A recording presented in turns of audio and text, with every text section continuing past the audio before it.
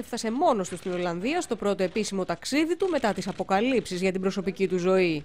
Η πρώτη ερώτηση των δημοσιογράφων στη συνέντευξη τύπου φυσικά αφορούσε τη Βαλερή και όχι κάποιο πολιτικό θέμα. Valérie Trier-Valeur va mieux et elle se repose euh, en ce moment euh, à la résidence de la Lanterne. Je n'ai pas d'autres commentaires à faire.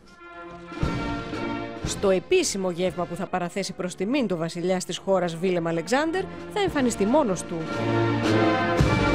Τώρα όλοι περιμένουν τις αποσαφηνήσεις του Γάλλου Προέδρου σχετικά με τη μάλλον ταραχώδη προσωπική ζωή του πριν το ταξίδι του στις Ηνωμένες Πολιτείες. Η Τριερβελέρ δεν επέστρεψε στο Μέγαρο των Ηλυσίων μετά την εξοδό της από την κλινική που νοσηλευόταν. Θα μείνει για μερικές ημέρες στην προεδρική κατοικία κοντά στις Βερσαλίες. Μέρος του γαλλικού τύπου, όπως η εφημερίδα Nouvelle Observateur, εκτιμά πως η σχέση του Ολάντ με την Τριερβελέρ έχει τελειώσει. Η Γαλλίδα ηθοποιό Ζουλή Γκαγιέ θα είναι η νέα πρώτη κυρία, αναφέρουν. Η Κατρίν Σουάμπ, αναπληρώτρια διευθύντρια του Παρί Μάτς, για το οποίο εργάζεται η Τριερβελέρ, δηλώνει πως η δημοσιογράφος νιώθει μόνη και ταπεινωμένη και πως ο Ολάντ ζήτησε χρόνο για να αποφασίσει για τη σχέση τους.